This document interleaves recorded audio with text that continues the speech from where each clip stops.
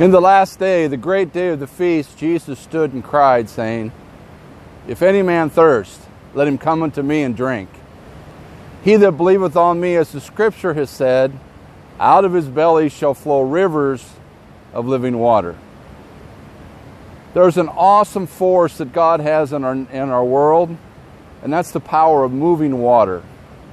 We call it rivers. We're here at the Elkhart River in Goshen, the Goshen Dam, the spillway, and you can see the water flowing behind me.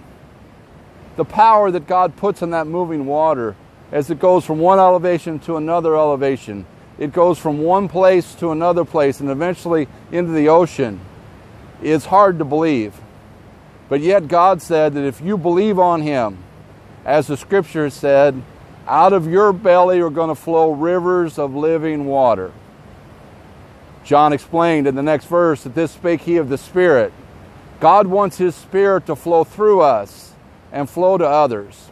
God wants you to be a vessel, He wants you to be a conduit through which His Spirit can move from one to another. So, even in the wintertime, when it's cold and other things are frozen, the water keeps moving because there's an awesome force of the moving water. And my friend, with all the things going on in the world today, you can take heart because God's Spirit is still moving.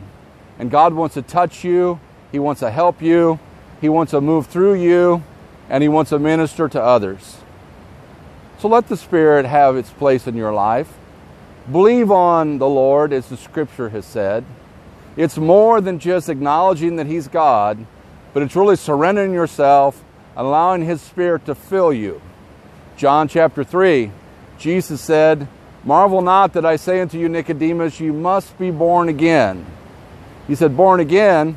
Yeah, born of water and of spirit. God wants you to be baptized in His name, and He wants you to be filled with His Spirit. God will lead you, God will guide you, God will direct you, and God will affect others around you as you let His Spirit flow through you. So the next time you see a river, the next time you go past a creek, the next time there's a heavy rain and there's water flowing down your street, remember God wants His Spirit to flow through your life and impact others. And so you be that vessel. You be that avenue through which the Spirit of God can flow.